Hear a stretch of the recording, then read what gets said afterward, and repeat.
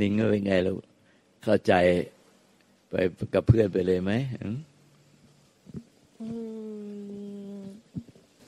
คิดว่าเข้าใจคอนเซปต์มากกว่าค่ะ แต่ให้เข้าใจแบบละเอียดเลยอันนี้หนิงคิดว่าเข้าใจสำคัญที่สุดคือ ไม่ต้องเข้าใจละเอียดโดยสมอง แต่ใจพบใจที่สงบลมเย็นแม่หรอกค่ะ แต่หนิงใจไม่สงบเนาะใช่ค่ะ เป็นห่วงพ่อ เป็นห่วงควรที่อยู่เบื้องหลัง เลยอยู่ฟังแต่ตัว แต่ใจไม่ร่วมฟังด้วย มันก็เลยเหมือนกับปิงคิยะมานพลูกศิษย์พามวลีสิบหกคน มากราบทูลถามปัญหาพระพุทธเจ้าคนละหนึ่งปัญหา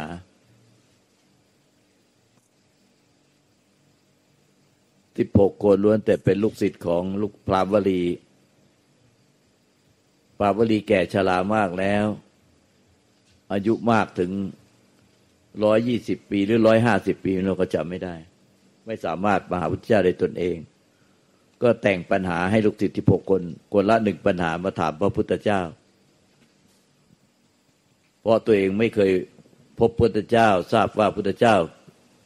เกิดขึ้นมาแล้วในโลกตัดสรู้แล้วในโลก แต่ไม่เคยพบพุทธเจ้า จึงอยากจะทราบว่าพุทธเจ้าได้บังเกิดขึ้นในแล้วในโลกจริงหรือไม่ ได้ตัดสรู้แล้วจริงหรือไม่ จึงแต่งคำถามให้ลูกศิษย์ที่หกคนไปถาม แต่คนที่จะพกคือหลานของท่าน หลานของ ปามวลี อีกสิบห้าคนเป็นแค่ลูกศิษย์ทั้งสิบหกคนไปถึงพระพุทธเจ้า ก็ถามปัญหาที่ปามวลีแต่งมาให้ คนละหนึ่งคำถามถามพุทธเจ้า เมื่อจบคำถามและจบคำตอบหนึ่งคำถามหนึ่งคำตอบ ลูกติดภาวลีทั้งสิบห้าคนบรรลุอรหันต์ทันที รรลุพระนิพพานเป็นพระหลานทันที ตลอดเวลาปิงกิยะมานพเฝ้าลำพึงคิดถึงลุงปามวลีว่า นี่ขนาดลูกศิษย์ของลุงเราจะมาถามปัญหาพุทธเจ้าด้วยปัญหาที่ลุงเราเป็นคนแต่งมาให้ ยังบรรลุพระนิพพานกันหมดสิ้น เสียดาย คิดถึงลุง ถ้าลุงมาเอง ก็คงจะบรรลุพระนิพพานแล้วทำไมลุงไม่ได้ฟังมีโอกาส มีวาสนาฟังธรรมจากพระพุทธเจ้าโดยตรงแบบนี้ พอถึงตัวเองถามปัญหา ไม่บรรลุเลย เพราะจิตใจไม่อยู่กับตัว เหมือนหนิงเลย मैं जहाँ महाराष्ट्र में रहता हूँ वहाँ से लगभग 300 किलोमीटर पे बावरी जो है ना बावरी का जो आश्रम था वो 300 किलोमीटर दूरी पे महाराष्ट्र में। नदी गोदावरी नदी के किनारे तो? जो बावरी की कहानी सुना है ना? वो वो वो आश्रम। อ๋อเขาบอกว่าจากสถานที่ที่เขาพักอยู่ที่อินเดียค่ะสามร้อยกิโลเมตร หลังจากตรงนั้นก็คือมีอาสรมของพรามบาวรีที่เหมือนอาจารย์กำลังเล่าถึงอะค่ะโอ้สาธุ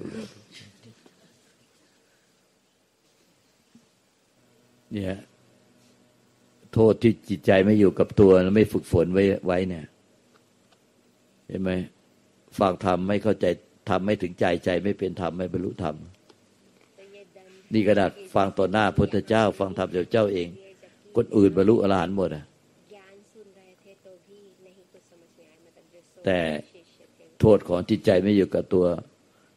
ขณะฟังธรรมต่อหน้าพุทธเจ้า ไม่ได้บรรลุเลย แต่หลังจากที่นั้นน่ะหลังจากที่ปิงคียทั้งสิบห้าคนไม่กลับไปเลยบรรลุอรหันต์เป็นพระอรหันต์แล้วไม่กลับไปหา พามวลีเลย ไม่กลับไปหาอาจารย์ท่าน แต่ปิงคียามานพเนี่ยคิดถึงลุงเพราะเป็นหลานชายแต่แต่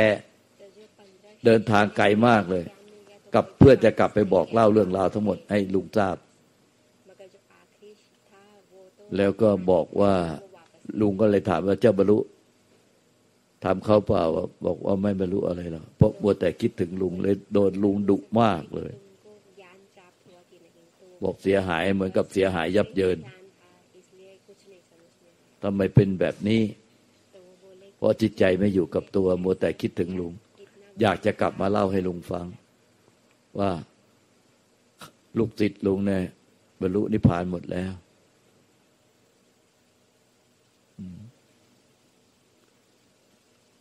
แล้วก็ โดนดุโดนลุงดุ อย่างมากเลย ว่าไปฟังธรรมจากพระเจ้าแล้วไม่ได้อะไร ไม่บรรลุธรรมกลับมา แต่ปิงกิยะมานพบอกว่าสิ่งที่ได้กลับมาไม่พล่องไปจากใจคือ ความศรัทธาในพระพุทธเจ้า ไม่ได้พล่องไปจากใจของเขาเลย แม้แต่ที่เขาพูดอยู่กับลุงเนี่ย พระพุทธเจ้าอยู่ในใจเขาตลอดเวลาไม่เคยหายไปเลย คุณของพระพุทธเจ้ามีมากมายไม่มีที่สุดไม่มีประมาณ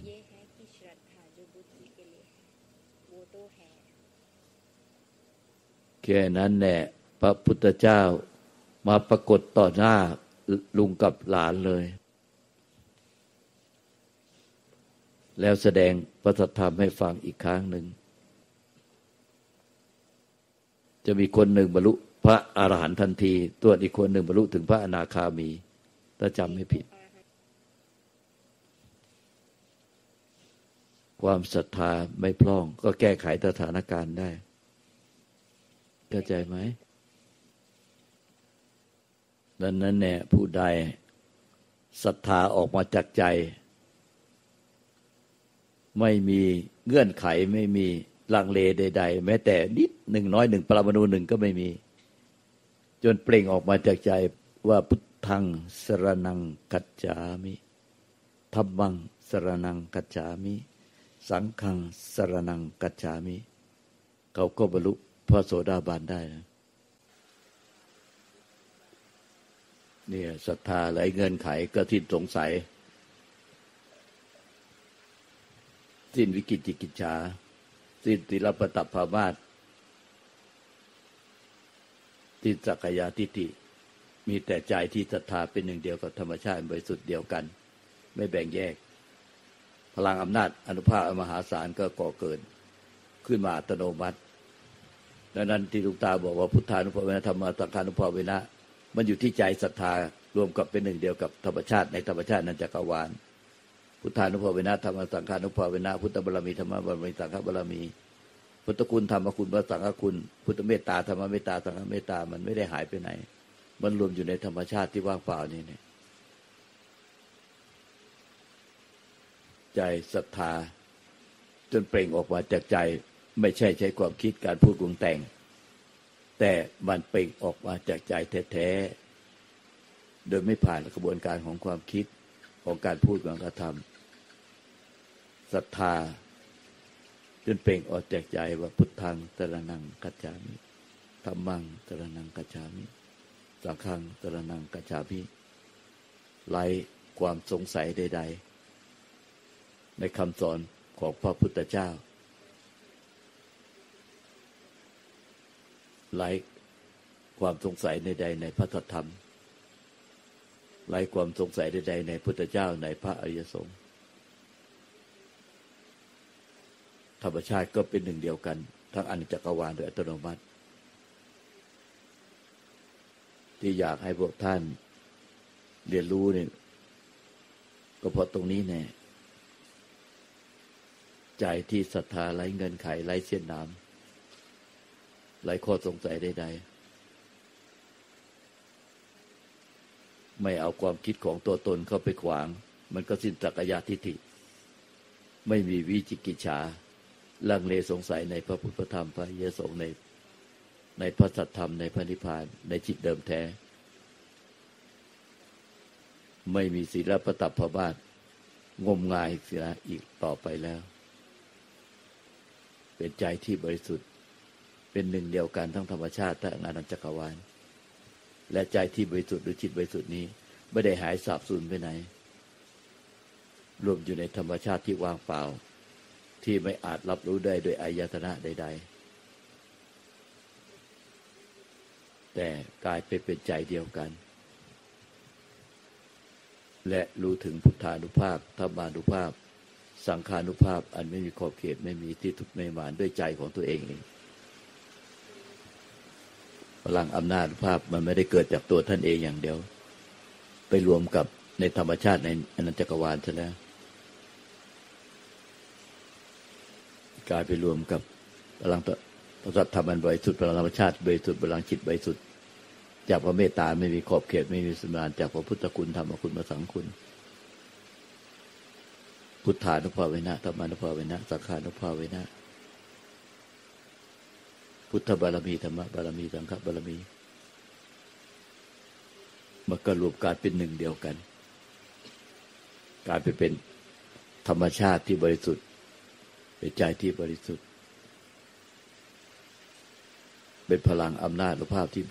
เกิดจากความบริสุทธิ์ ไม่มีขอบเขตไม่มีสุนมาน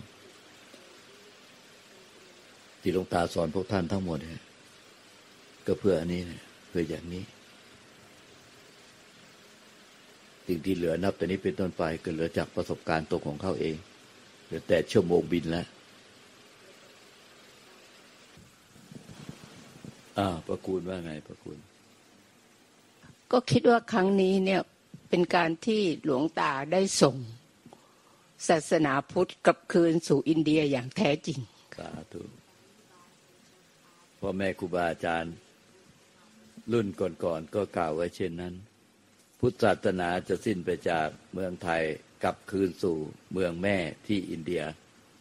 และไปเจริญเติบโตที่ยุโรป บางท่านว่าจะไปถึงรัสเซียคำทำนายนั้นน่ะ ก็น่าจะไม่ผิดพลาด เขาจะเป็นผู้นำพระธรรมแท้กลับคืนสู่เมืองแม่พ่อแม่ครูบาอาจารย์ได้ทำนายมาเป็นเวลานานมากแล้ว ตั้งแต่ก่อนปี 2510 นี่ 2567 แล้ว ว่าเรากับลูกศิษย์จะเผยแพร่พระธรรมออกไปทั่ว ทั่วโลก ทั่วอนันจักรวาลอันไม่ขอบเขตไม่สุดมานตอนนี้มันก็เริ่มเป็นจริง ปรากฏให้เห็น แต่แท้จริงอะไม่ใช่เราอะไปคนไปเผยแพร่ แต่ผู้เจ้าของประเทศเขาเองเขามาได้รับประสัทธรรมแล้วกลับไปเผยแพร่ต่อ เราอาจจะเดินทางไปเป็นเพียงครั้งแรก ๆ เท่านั้น แล้วก็คงไม่ได้ไปอีก เพราะสิ้นอายุไขไปก่อน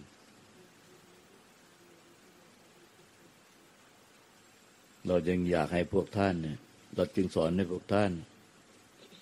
ได้รู้เห็นของจริง ได้รู้เห็นพระตัดธรรมแท้ ได้รู้เห็นอำนาจอนุภาพพลังอำนาจอนุภาพ อันยิ่งใหญ่ไม่ขอบเขตงานของพระสัทธรรม อันบริสุทธิ์พลังธรรมชาติที่บริสุทธิ์รวมกับพลังจิตบริสุทธิ์จากพระเมตตาอันไม่มีขอบเขตไม่มีสุดมานจากพระพุทธคุณธรรมคุณพระสังฆคุณพุทธานุภาเวนะธรรมานุภาเวนะ พุทธบารมีธรรมบารมีสังฆบารมี ผู้ที่มีความศรัทธาไม่งอนแงนกอดแขนศรัทธาโดยไม่มีเสี้ยนหนามศรัทธาโดยไม่มีเงื่อนไข และด้วยอำนาจพุทธานุภาเวนะธรรมานุภาเวนะสังฆานุภาเวนะอันไม่อันยิ่งใหญ่มีขอบเขตมีสุดมานก็จะประจักษ์แจ้งแก่ใจของทุกท่านเอง ต่อไปนี้ความเชื่อความศรัทธา มันก็จะยิ่งใหญ่ไพศาลไม่ขอบเขต บริไม่ต้องอาศัยเชื่อศรัทธาจากคำพูดเราอีกอ๋อไม่ชีปุ๊บว่าไงไม่ชีปุ๊บว่าไงค่ะกราบเขากาดนาตาค่ะ คือจริง ๆ ตอนแรกเเก็บของอยู่ในห้องใช่ไหมคะ แล้วก็เดินออกมา จริง ๆ ความเงียบสงบสงัดเนี่ย มันมีตั้งแต่อยู่ในห้องโดยที่ เรามันเหมือนมันไม่ต้องคิดเอาเลยอะค่ะน้องตา มันมันเหมือนมันมันเหมือนมันมันอยู่ด้วยกันตลอดเวลา โดยที่ไม่ต้องมีความพยายาม ก็ตอนแรกก็ก็รู้สึกว่าในใจมีความเปลี่ยนไป ไม่ใช่การที่พยายามจะต้องคิดเอาเหมือนสมัยก่อน โดยที่มันเหมือนมันมันรู้ขึ้นมาเองที่ใจแล้วก็เป็นเองอย่างนี้ค่ะหลวงตา ก็ก็ทำอะไรไปโดยที่ก็ปล่อยให้ความจริงมันดำเนินไปแบบนี้ แต่ว่าพอเดินออกมานอกห้องก็ยิ่งรู้สึกว่ามันสงัดลึกลึกลึกลึกลึกลงไปเรื่อยๆ จนจนมันเหมือนอนุภาพของของสิ่งที่เหมือนเหมือนเราไม่สามารถจะอธิบาย ความรู้สึกออกมาได้ มันมันเกินกว่าคำพูดจะพูดไปถึง มันเป็นสิ่งที่สัมผัสได้อย่างเดียวคือจากใจแค่นั้นจริง ๆ ค่ะหลวงตา ก็เลย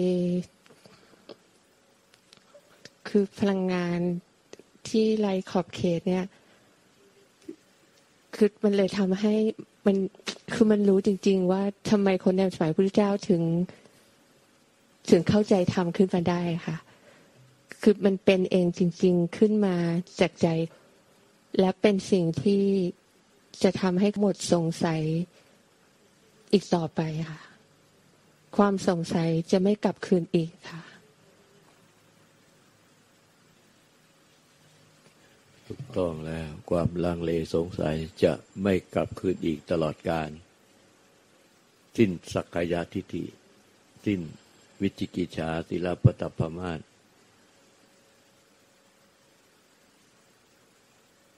สังโยชน์สามตัวก็จะดับไป ราคะโทสะโมหะก็จะเบาบางจะดับไป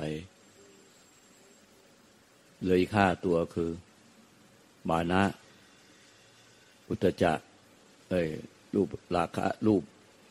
อารูป ก็จะหมดสิ้นอิทธิพลต่อใจไป แล้วก็มานะอุตจะสังโยชน์สามตัวสุดท้าย นั่นแหละความสงสัยก็จะไม่กลับคืนอีก ความลังเลสงสัยก็จะไม่หวนกลับคืน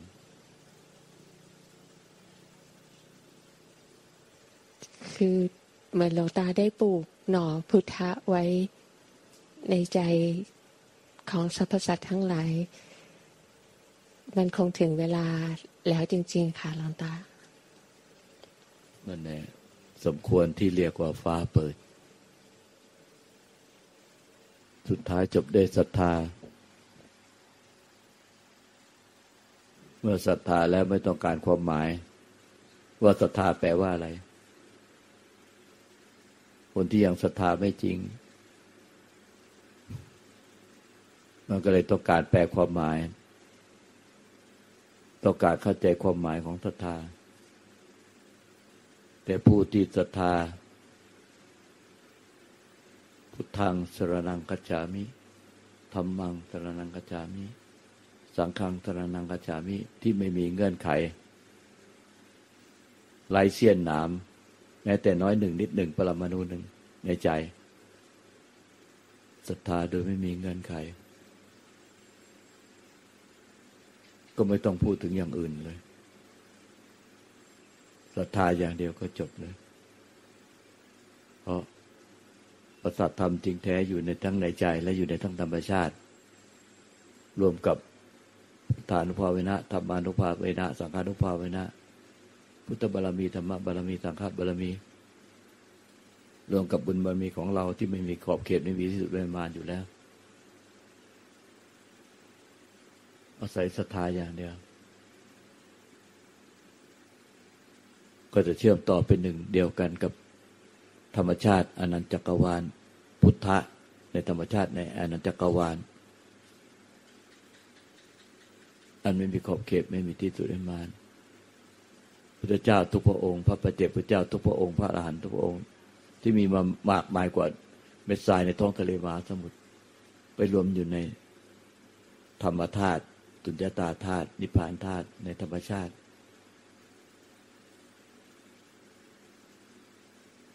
ดังนั้นไม่ต้องพูดถึงพุทธานุภาเวนะธรรมานุภาเวนะสังขานุภาเวนะพุทธบารมีธรรมบารมีสังฆบารมี เมื่อเจ้าตัวมีบุญบารมีร่วมด้วยก็ อาศัยเพียงแค่ศรัทธาอย่างเดียวศรัทธาที่ไม่มีเงื่อนไข ก็ไม่ต้องการความหมายของศรัทธา มันก็สำเร็จที่ใจศรัทธา นี่เนี่ยจะเป็นเครื่องบอกเหตุพวกท่านทั้งหลายทำไมจึงเข้าไม่ถึงธรรม เข้าไม่ถึงพระธรรมแท้ พลังอำนาจอาภาพในขอบเขตมาจากพระธรรมแท้